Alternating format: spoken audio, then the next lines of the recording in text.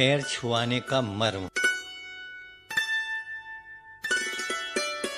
बच्चों से माता पिता आदि के, बहुओं से सास, ससुर आदि के, और शिष्यों एवं अन्य छोटों से गुरु आदि के पैर क्यों छुआए जाते हैं? वे इसलिए छुआए जाते हैं, पैर छूने वाले व्यक्ति के मन में नम्रता और श्रद्धा के गुण विकसित हों। वो बड़ों को बड़ा मानना सीखे। बड़ों को बड़ा मानना अच्छे संस्कारों की बात है। और स्वयं में एक चारित्रिक गुण है।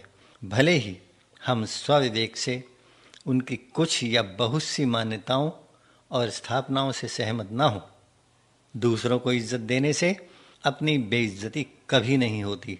उल्टे अहंकार का नाश होता है।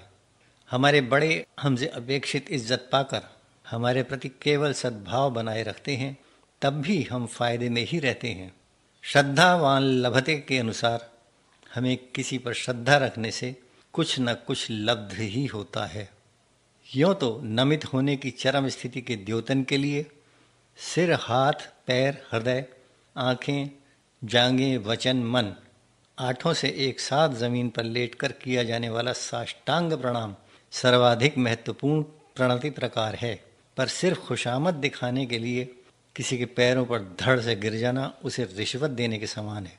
यदि ऊपरी तौर पर आप किसी के पैर पूजें, पर मन के भीतर उसे उस वक्त गालियाँ देते रहें तो ऐसा नाटक आपको सही आदमी नहीं बनने देगा।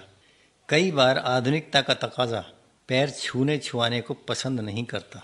इसमें कोई परेशानी की बात नहीं है। यदि आपके मन में किसी के प्रति श्रद्धा है और आपका वह बड़ा भी आपसे पैर छुआने में विश्वास नहीं करता है तो ज़रा सा भी झुकने की जहमत मत लीजिए। बस मन के भीतर ईमानदार रहते हुए ऊपर से दुआ सलाम मात्र को अच्छे से अच्छे आदर भाव के लिए पर्याप्त समझिए। कोई अन्य व्यक्ति किसके कब कहाँ पैर छू रहा है, इसका हिसाब रखना आपके लिए ज़रूरी नहीं है। आप तो बस पैर छूने छुआने के मर्म को केवल अपने और अपने बड़ों के आपसी संदर्भ तक सीमित रखें। वही आपके लिए उपयोगी है, वही आपके जीवन की गाड़ी को अच्छेपन की दिशा में दूर दूर तक ले जाएगा।